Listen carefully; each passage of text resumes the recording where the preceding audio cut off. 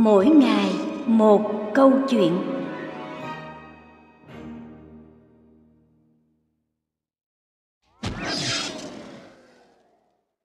Câu chuyện Sự tích ngày Tết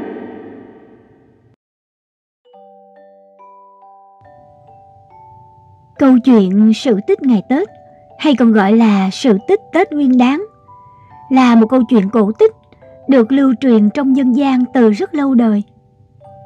Câu chuyện này sẽ giúp cho chúng ta hiểu rõ hơn về cội nguồn, về những phong tục tập quán tốt đẹp được giữ gìn từ nhiều đời nay.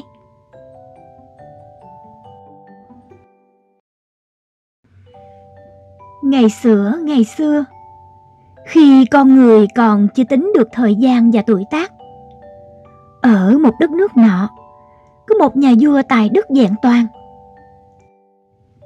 Nhân một dịp vui, nhà vua muốn ban thưởng cho người già nhất ở trong nước, nhưng chẳng làng nào có thể tìm thấy.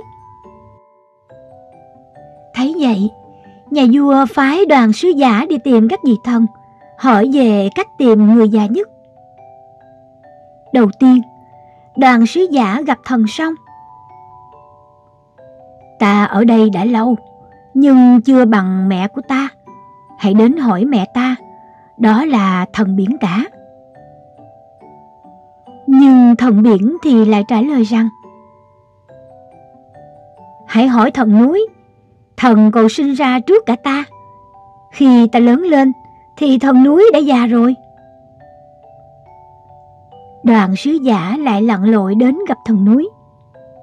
Thần núi nói Hãy đến hỏi thần mặt trời. Lúc ta mới chào đời, ta đã phải nhắm nghiền mắt vì nắng của thần mặt trời rồi. Nhưng làm sao để có thể đến được với chỗ của thần mặt trời? Đoàn sứ giả thất vọng quay về.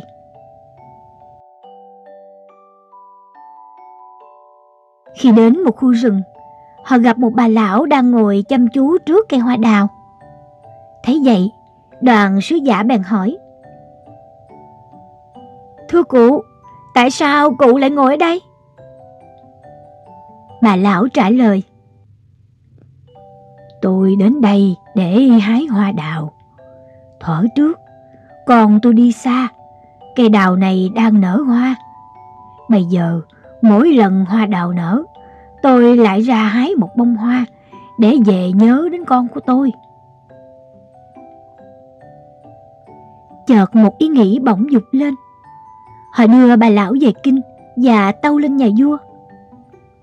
Nhà vua vốn thông minh, nên nghĩ ra cái tính tuổi của con người. Có nghĩa là cứ mỗi lần hoa đào nở thì thêm một tuổi mới. Sau đó nhà vua rất vui mừng và cảm động. Nhớ đến bà lão đã hái hoa đào. Ông truyền cho thần dân cả nước. Mỗi lần hoa đào nở thì mở hội ba ngày ba đêm. Những ngày vui ấy sau này được gọi là ngày Tết và truyền mãi đến bây giờ. Ý nghĩa của câu chuyện Sự tích ngày Tết là một câu chuyện hay và đầy ý nghĩa.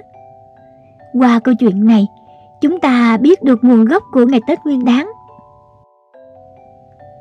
Tết là ngày vui của tất cả mọi người.